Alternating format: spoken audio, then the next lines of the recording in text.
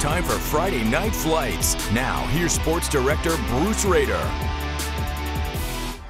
It is the beginning and the end. The last week of the high school football regular season setting up next week's opening round of the playoffs. Tomorrow, 32 teams from Grafton to Smithfield with plenty in between will begin the journey for what they hope will be one of four state championships. But first, we wrap things up tonight with the season finale of Friday Night Flights. Hi, everybody. I'm Bruce Rader. We have two teams from our area looking to win back to back state championships. Ocean Lakes, the 10th ranked team in the nation this week, is the defending six champions from Virginia, and Lake Taylor, the defending Division Four state champions tonight. Unbeaten Ocean Lakes at home for senior night, looking to win its 41st straight Beach District game. And what a night for the senior quarterback Cody Cunningham. What a high school career for Cody as he puts Ocean Lakes here on the board right away with a touchdown pass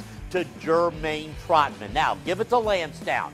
They would give it its best. Quarterback Bryce Stukes scrambling for his life, and then he's going to make it happen with a great throw to Noah Boone, setting up a touchdown for the Eagles. But Ocean Lakes with too many weapons. The lateral to Jermaine Trotman, who puts up his own beautiful throw to a wide open future Florida State player, Levonta Taylor, and then sophomore quarterback Tyler Dessou. He's going to be running the Ocean Lakes offense the next two years. Look at him go up the middle as Ocean Lakes, the top seed in Division 6, now looking to repeat as state champions. We'll see. Same goes for undefeated Lake Taylor, the reigning 4A state champions. Home against Norcom, the Lake Taylor defense is superb. Norcom's Trayvon Sneed back to pass, picked off by Dasmond Palmer to end the drive there. And then the Titans defense getting to Sneed, the Rashawn Griffin dropping back, more Lake Taylor defense.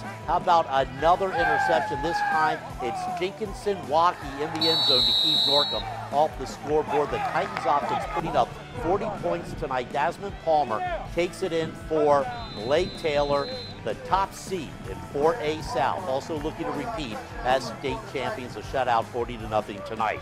Unbeaten Hampton, the top seed in 5A, hosting the Churchland Truckers. Hampton in black, future Hokie Jovan Quillen. He pitches it to Demetrius Strickland, who sweeps around the corner, and Mike Smith dreaming of another state championship. The Crabbers, hey, they've got a tough defense, too.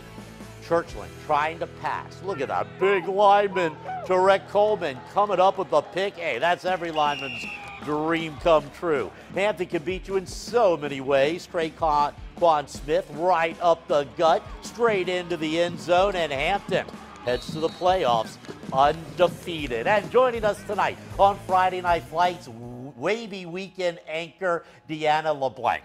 Hello, thanks so much for having me. It was a really nice night out there, Bruce. November night closing out the regular season, and one of the featured games, two playoff teams meeting in Chesapeake. Chad Grassfield at Oscar Smith. Oscar Smith, undefeated. And with a win over the Grizzlies, Smith would be the top seed of the 6A South. But Grassfield, all fired up, held a 10 to 7 lead at halftime, but then in the third quarter, Oscar Smith, Sean Mitchell to Josh Gray.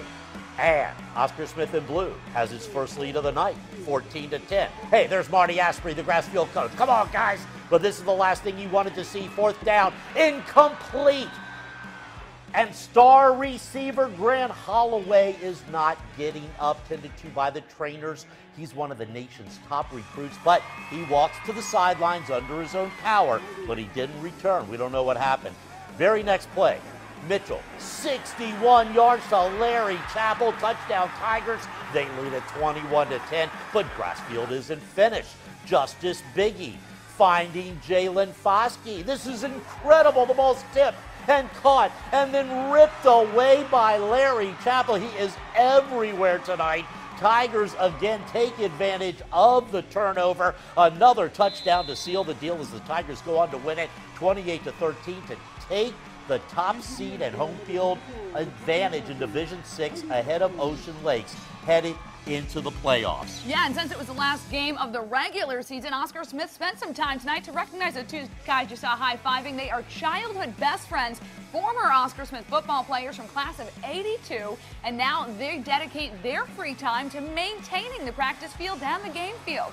They tell me they put in about 12 hours every week from preseason to playoffs. They take care of all the grounds, even paint the lines. When I asked them why they do it, they said Tiger Pride. Scott and I played back in 79, 80, and 81, and my father used to take care of the field over at the old school. So this is kind of a, like a, you know, it's like a genera- generational thing. Quite frankly, I do it for therapy. therapy. I'm out here in the weekends, and it's just out in the weather, and it's beautiful. So it's, it's a labor of love. And both their kids went to Oscar Smith as well. Terry's son now helps him on the paint crew, and Scott's son was the kicker on the team. He graduated this past year. I love that story. Hey, how about Indian River, the two seed in the 5A South, heading into its game tonight against Western Branch? But it was Western Branch and White that owned the first half. Jacob Wilson finds the junior, Karan Claggett in the corner, and the Bruins have a 7 0 lead, and they were just getting started. How about Wilson again? I thought the Bruins were a running team. Nate Lewis has the catch. He's tackled, but his knee never hits the ground. Look at that. It's a Western Branch touchdown, and it's 14 to nothing. Upset in the making. Look at him give the Braves chop. Hey, the defense held Indian River to just 15 plays in the first half. Look at Tyree Givers Wilson. It's tipped and intercepted by Armon Jones. But where was that running game? Oh, here it is. Keith Bryant right up the middle to give Western Branch a 21 to nothing lead. They led 21 to 8 at halftime and go on to pull off the upset over Indian River 35 to 14. Oh my. Hickory ends its season with a 31 to 20 win over Great Bridge. How about Nansemond River? The Warriors are for real. They beat Lakeland 52 to 7. And it was Deep Creek that rallied for the upset win over Kings Fork 16 12. Hey, let's go back to the beach. Salem began the night as the three seed in 5A, needing a win and that Indian River loss to move up to number two. The Sun Devils closing out the season against First Colonial. Salem's Jamar Hudson, who has a heck of a run against the First Colonial defense. And then next up, a First Colonial punt to Malik Butts, who loses it in the lights. But wait a minute, he makes up for it running like a wild man to make up for his mistake. Salem coach Robert Jackson ready to take on Hampton and Indian River in the playoffs as Salem shuts out FC 34 to nothing and moves up to the number two seed behind Hampton in Division 5. Staying at the beach, Cox guaranteed a spot in the Division 6 playoffs. Wrapping up its season in Kempsville, Cox on defense, and Jake Herslow says hello to Friday Night Flights. Big hit there. Falcons back on D. Ashton Smith with the shoestring interception, taking it deep into the Chiefs' territory. Cox led 35 to nothing at halftime, and while Kempsville avoids the shutout on the Anthony Resick score, it's playoff-bound Cox that wins it 35 to 6. And here are the rest of the beach finals. Bayside shuts out Princess Anne. Kellam 38 to 22 over Green Run. And still to come a wild showdown in Newport News between Woodside and Kecoughtan with playoff implications on the line. And Chopper 10 heads to Packer Country for Smithfield's game against Grafton. We're the Smithfield Cheerleaders. Don't go away. Bruce and Deanna will be right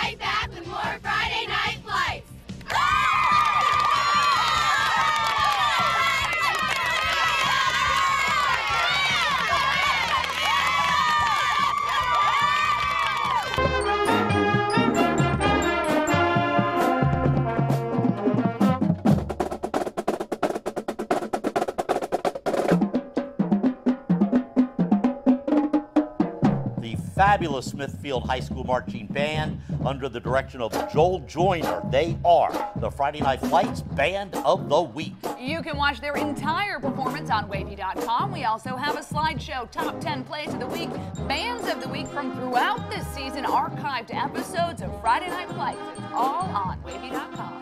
And speaking of Smithfield, the Packers closing out the regular season at home against Grafton. Yeah, both teams have qualified for the 4A East Regional Playoffs and in all likelihood will meet again next week in the opening round of postseason. And tonight, Grafton would take the first meeting. Here, the Grafton defense sacks. Watch this quarterback, Smithfield quarterback Nicholas Turner forcing a punt on Grafton's next possession. Quarterback David Dobbins runs it in for the score, and Grafton would go on to win 58 to 33. Now, one of the best things about Smithfield football is their concession stand. The line is always wrapped around the corner. It was so busy inside, I thought, they told me it was a slow night. Now take a look. They make this concoction. Let's see if we can get a picture of it. There it is. It's one of their top selling foods. They call it Packer fries. Which are hand cut fries that have barbecue from Smithfield and cheese all over them. And what make are these? What makes famous here? Yes, Packer fries. We sing and dance when you order them. Can you do that for me? Uh, hey, we got a Packer fries! And the money raised from selling all those snacks goes to all Smithfield sports teams, not just football. Last year, they raised $27,000. Wow, you should have brought some back with you.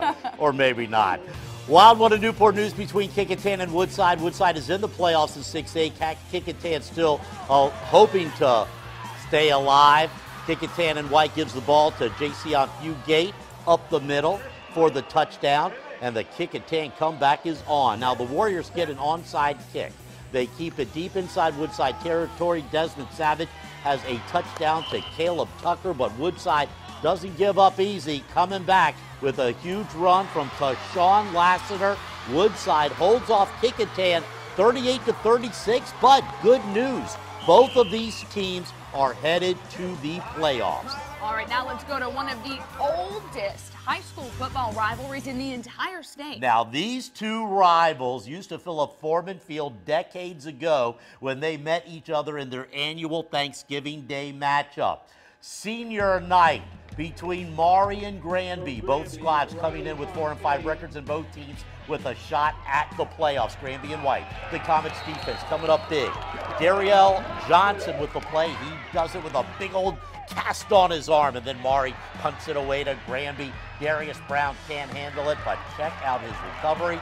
He turns a loss into a 44 yard gain. Now, Granby may end up in the playoffs. We're still working on that after beating Maury 14 to 3 and some more finals in Norfolk. Booker T. Washington High School shuts out the Wilson Presidents 7 to nothing, but Towson over Tabb 24 to 14.